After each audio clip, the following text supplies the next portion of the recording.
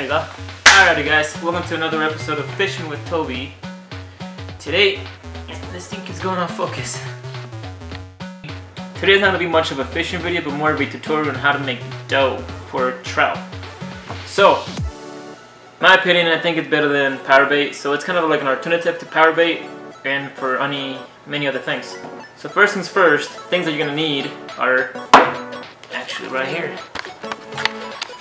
So things you're gonna need are gonna be salt, any type of salt, garlic powder, sugar cane, flour, some water, and a bowl.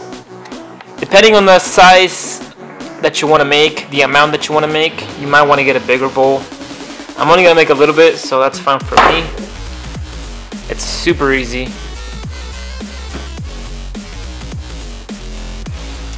Alrighty, once you got all of your stuff in your little work area, what you want to do is you want to grab the amount that you think you want to make and just pour in the bowl. This is flour.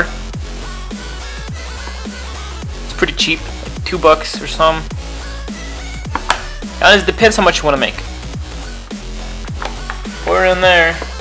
I'm gonna make about that much. Probably like not even half of the bowl. I'm gonna put the flour aside. You don't have to really do it in any type of order. I just, you know, go with it. And then after that, you want to grab your garlic powder.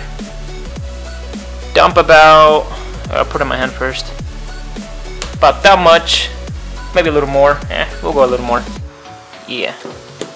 And then you just pour it in your bowl. Oh, oh man, it smells good already. Whew, that garlic though. Got it in the bowl. And you want to grab your sugar. Again, it's however you want it. And I like it crazy. I add a whole bunch. Then you add some salt. Again, doesn't matter. It's up to you. I like it crazy. And then after that, you want to add your water. Okay, this is where it's actually, you really need to know how much you want to put in there. Usually what I do is I put about a, I don't know, I just put an amount first, okay? Put a decent amount first, and after that, what you want to do is blend it.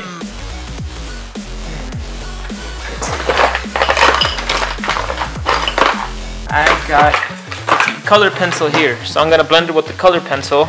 Way my hands don't get too sticky. I mix it in all together.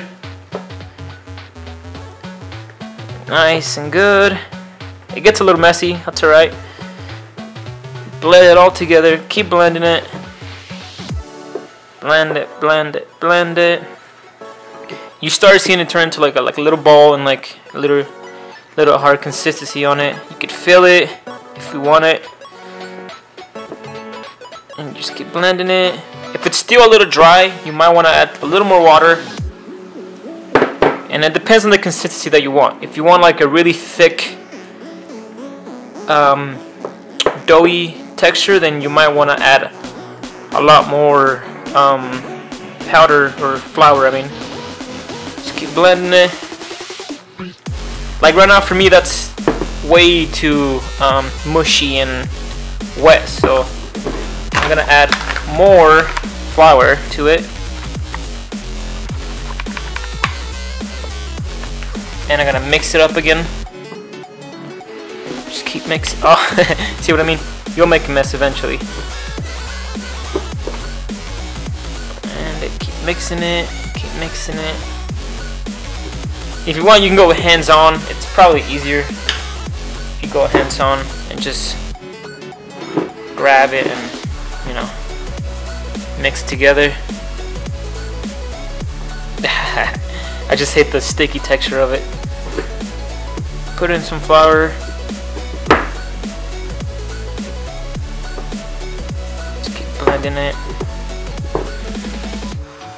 The good thing about this dough that it lasts a long time. It works fantastic. Not only that, it's pretty cheap. With about five bucks, you can buy all these ingredients and make a bunch of it.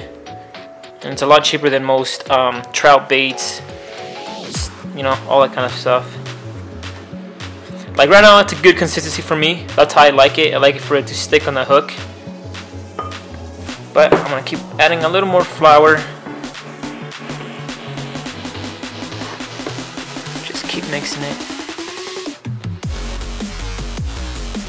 Like again, it's up to you the consistency, but I recommend doing like a little, a little tougher.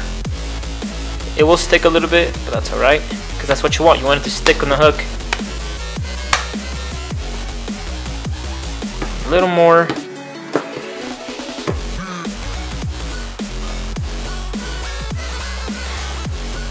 And I used about, mm, probably like about half a cup. I have a measuring cup right here. I used about half a cup. It just depends how much you're using and how much you want to make. But as far as that goes, right there, that's perfect for me.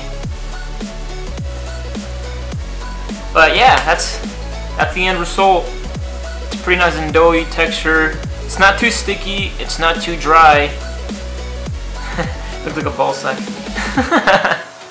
but I hope you guys enjoyed the tutorial. If you need more help on how to make this dough, just leave a comment on this video and then I'll get back to you guys. Other than that, hope you guys enjoy it. Don't forget to comment, like, and subscribe. And until next time, peace.